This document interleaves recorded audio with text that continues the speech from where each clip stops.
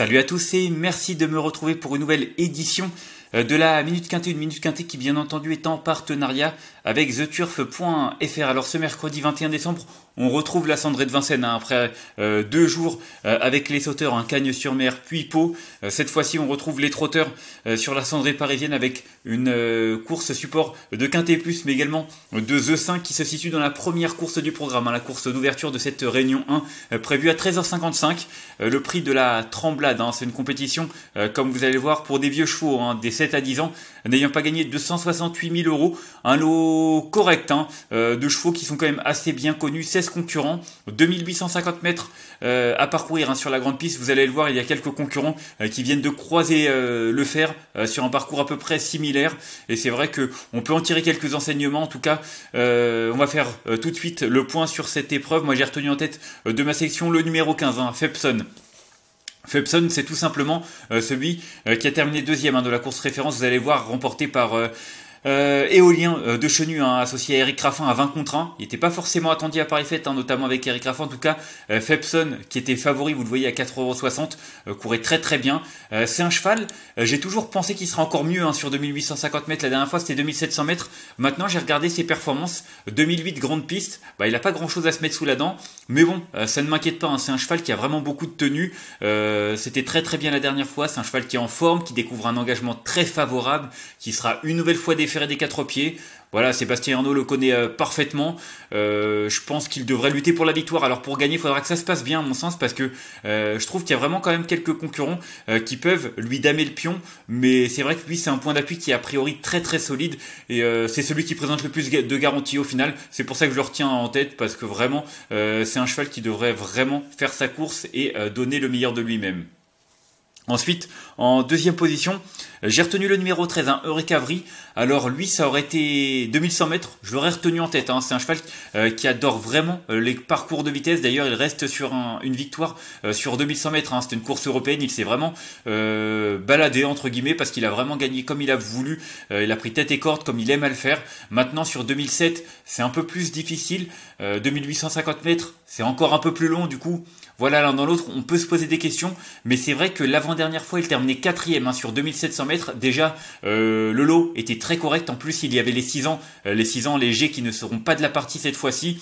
Mais en plus, le temps était vraiment euh, très très correct. Là, il a que les vieux sur sa route. c'est un Hongre de 8 ans qui est vraiment en pleine possession de ses moyens actuellement. Et j'aime beaucoup sa candidature. Je pense qu'il a également beaucoup de tenue. Et attention à lui. je pense vraiment qu'il est capable de remporter une course dans un tel lot et sur cette distance donc c'est pour ça que je l'ai retenu aussi haut en deuxième position.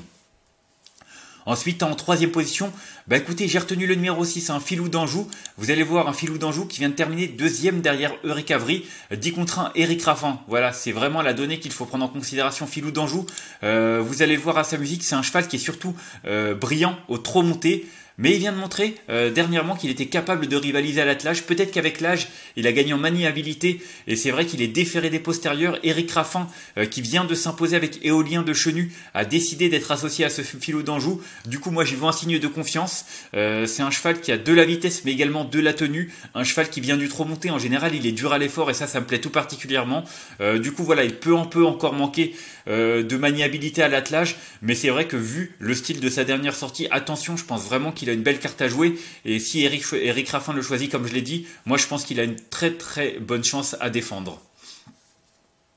Ensuite, en quatrième position, bah, j'ai retenu le 14, hein, Éolien de Chenu. Euh, c'est vrai que ce ne sera pas Eric Raffin, mais on a un joker de luxe hein, en, la, personne de Alexandre Abrivard euh, qui lui sera associé. Comme je vous l'ai dit, il a gagné la course référence hein, le 28 novembre dernier. Euh, c'est vrai qu'il a eu le parcours sur mesure. Il a jailli dans la ligne droite pour venir s'imposer et dominer Fepson.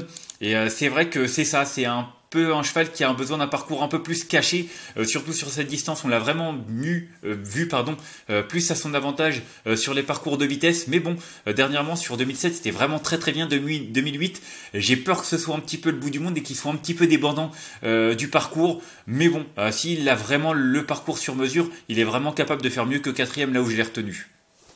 Ensuite, en cinquième position, bah, j'ai retenu le numéro 2 en Flash Gordon. vous allez le voir, cinquième de la course référence. c'était vraiment bien parce que c'était sa première vraie course du meeting et il courait bien. Hein. Euh, il termine cinquième, vous le voyez, il était proposé à moins de, 10 contre 1. Euh, ce parcours, il n'y a aucun problème. Il y a remporté un quintet hein, au printemps. Euh, du coup, voilà, il aura juste pour lui d'être un des moins riches. Mais bon, au final, vous le voyez, il n'y a même pas 20 000 euros entre le moins riche et le plus riche. Donc voilà, un lot qui est assez homogène. Lui est dans sa catégorie. C'est un 7 ans face à ses aînés, c'est toujours un avantage. Et euh, déférer des quatre pieds, euh, je pense qu'il devrait courir en progrès par rapport à sa plus récente sortie et justement euh, lutter pour un très bon classement. Ensuite, en sixième position, j'ai retenu le 8, hein, Diego Ducanter. Alors Diego Ducanter, voilà, c'est un Hongre de 9 ans.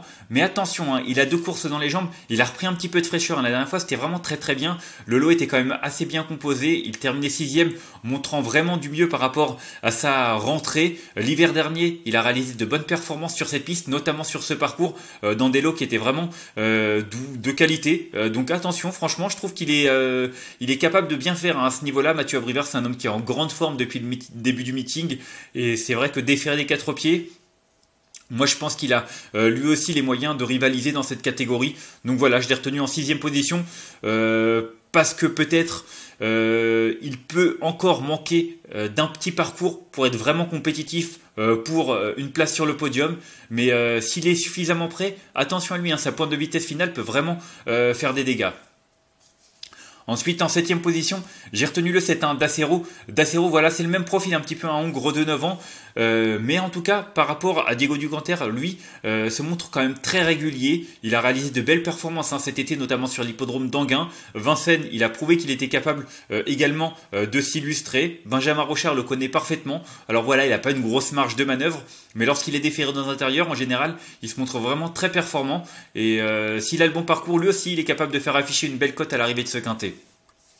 Et enfin, en huitième position, euh, je ne savais pas trop quoi retenir. J'ai retenu le 11, Fast Domino. Euh, c'est un cheval qui a quand même des références à faire valoir. Là, il vient d'afficher un net regain de forme. Je crois que c'était du côté de Toulouse. Il était venu euh, à Vincennes la dernière fois, c'était au printemps, il terminait je crois cinquième dans une épreuve quand même bien composée, déféré des quatre pieds, on fait appel à Franck Ouvry. Pardon. Du coup, voilà, euh, je me dis qu'il est capable de rivaliser pour une place. Je pense pas qu'il ait une grosse marge de, manœuvre lui non plus, malgré ses 7 ans face à ses aînés. Mais déférer des quatre pieds en général, il est dur à l'effort il est capable, pourquoi pas, de, prendre un petit lot pour finir. Donc voilà, huitième choix de ma part. Et en cas de non partant, j'ai retenu le numéro 12, hein, Esteban Giel. Alors, je le retiens seulement en regret.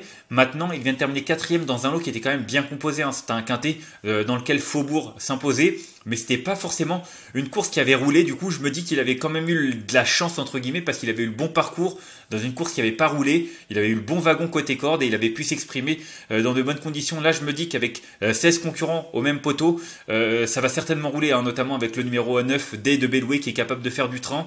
Et du coup, ça réduit un petit peu sa marge de manœuvre. En plus, ce sera Guillaume Martin. Bon, c'est une bonne main hein, dans un peloton, Guillaume Martin. mais c'est vrai que d'habitude, on a un David Thomas ou on a un Mathieu Abrivard du côté de Jean-Luc Dersoir. Du coup, le fait que ces deux pilotes les délaissés, je me dis que Techniquement, il a certainement une seconde chance, mais bon, sur sa valeur euh, pure, je me dis que pour une petite place, on ne peut pas l'interdire. On va faire un petit récapitulatif euh, de ma sélection avec le numéro 15 Fepson que j'ai retenu euh, devant le 13 Eurecavry, le 6 Filou d'Anjou, le 14 Éolien de Chenu, le 2 Flash Gordon, le 8 Diego Ducanter, le 7 Dacero et le numéro 11 Fast Domino et en cas de non partant le numéro 12 Esteban Giel. En conseil de jeu, bah pour moi, le 15 Fepson, c'est la base intégrale. Un cheval qui est en forme, qui a de la tenue, qui est dans sa catégorie. Eureka c'est pareil, hein, je l'ai retenu en deuxième position. Euh, je trouve vraiment euh, qu'il est bien dans sa catégorie, il est en grande forme. Hein. je trouve que le lot est même à sa portée. Comme je l'ai dit, ça aurait été plus court, je l'aurais sans doute retenu en tête. En tout cas, euh, même si la distance est un peu plus longue, attention à lui, je pense qu'il a vraiment sa place sur le podium. Et puis le 6, un filou d'Anjou, euh, c'est le choix de Eric Raffin. Euh, du coup, euh, vu sa dernière sortie, on est obligé de s'en méfier et de lui faire une grande confiance également. Donc, donc 15, 13 et 6, les trois concurrents qui me plaisent le plus dans cette épreuve. Je vous rappelle qu'on est également en partenariat avec TheTurf.fr qui vous offre jusqu'à 250 euros pour toute nouvelle ouverture de compte auquel nous ajoutons 3 mois d'abonnement VIP au site turf-fr.com. Un petit point également sur le quintet euh, de ce lundi hein, du côté euh, de Cagnes-sur-Mer, un valet patron, bah, qui l'a fait en patron, en tête et corde.